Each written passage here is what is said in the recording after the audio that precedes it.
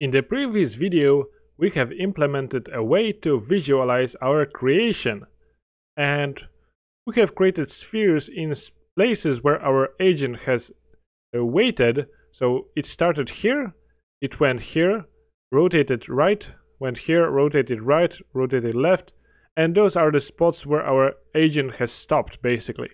And lines uh, represent how our agent was moving. So if we if we change the view of our scene, we can see that this is the longest line, and of course this line, so this one is longer than this one, and this one is longer than this one, because we are reducing the length of our output, so of our drawing.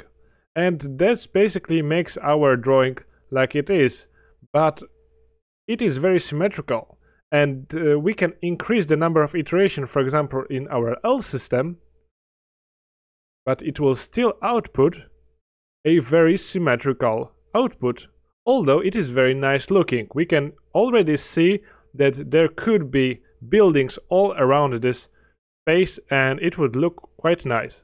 But still it is repeatable. It always outputs this. So how can we adjust that so what we can do is go to Simple Visualizer, open the script by clicking Edit Script, and we can play around with length and with angle. Although I have previously told you that I didn't pay much attention to length, it is something that you can improve upon, we can certainly change the angle. So if you had some constant uh, way of drawing the road, you could press play, and now you have achieved something quite different. This looks a little bit different, a little bit more organic, and maybe you could use this in your uh, procedural town. But we are constrained by, by the angle, so let's change it back to 80, uh, to 90, sorry. But as I have told you before, we have also the rules here uh, in our uh, implementation. Let's open this file up. So we can change the output of our rule. So what could we implement? Well, for example, we can add another straight line here in between the changes of the direction. So let's play right now. And we will see that now it looks much better. Although we have the issue with the length of our line, we can decrease the, the system uh, iteration number. We can play and we can see that this outputs us much nicer output but as you can see again this brings us the same result every time we press play.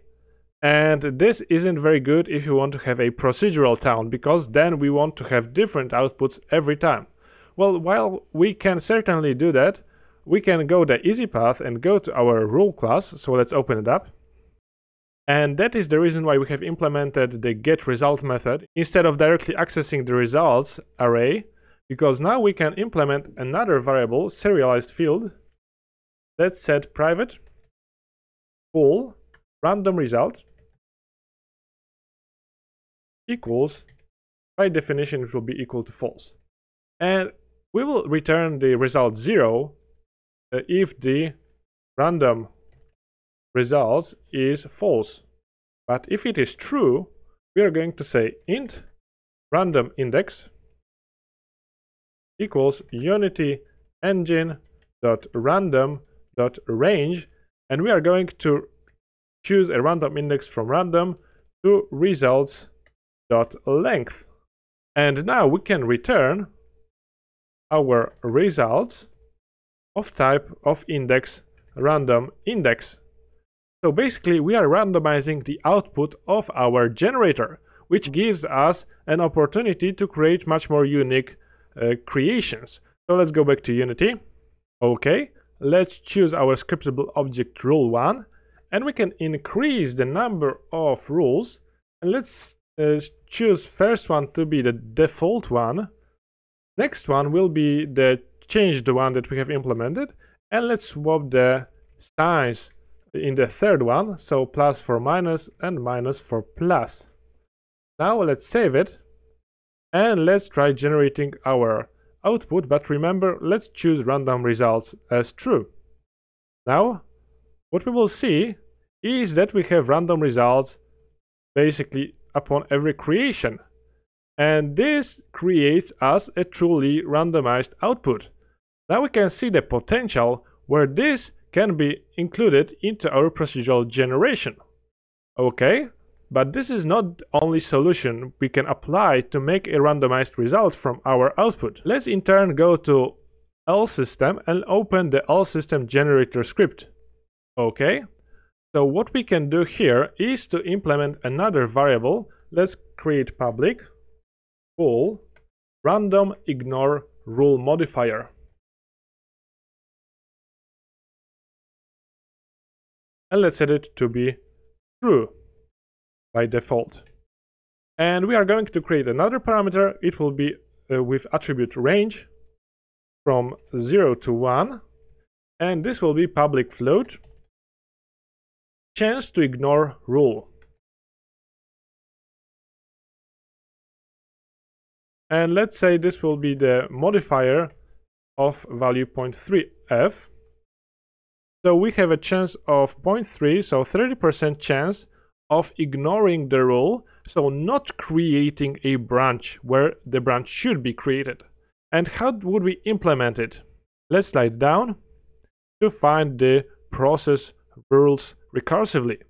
So here, inside our if statement for checking the rule letter, we can create if random ignore rule modifier and again I need to change the name to be correctly spelled.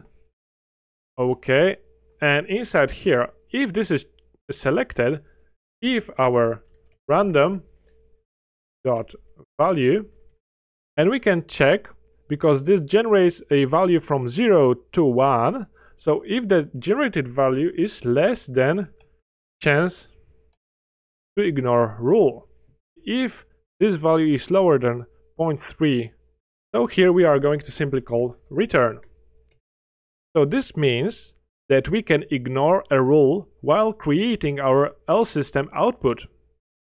Now, this isn't a perfect solution, but it will give us some uh, more randomness inside our creation. So let's go back to Unity. Okay, now if you see the L system, it has selected random ignore rule modifier and chance to ignore is set to 0.3. So now let's maybe disable the rules to create random rules so we should expect the standard output. But if we click play, we can achieve something like this where this part was never created because we have ignored this rule. And we have only this part. So now we can have some randomness in our creation. And now it has created the full output.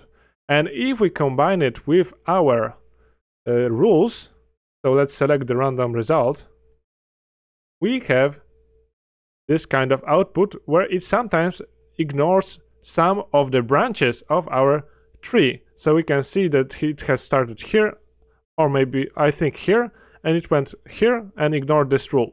And one thing, uh, one more thing that we can see uh, is go back to our L system, open up the script, and we might want to only perform this if, so uh, we're going to choose and, iteration index is greater than 1. Because basically, at the beginning, we are creating the first branch. So this would mean that at the start, we are going only go to uh, one way. So that's why we might want to only use this value if the iteration is greater than 1. So in the second, third, and so on. So let's go back to Unity.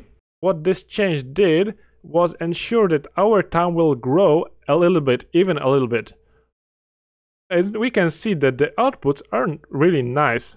So those are the ways we can tweak our output through the rules, through choosing randomly to ignore their out rule output, and through changing the length and angle of our output. That's all there is to L system output, but of course, this doesn't look very impressive. So let's in the next video implement a way to instantiate a road prefab instead of those lines and instead of those prefabs and this we are going to tackle on in the next video.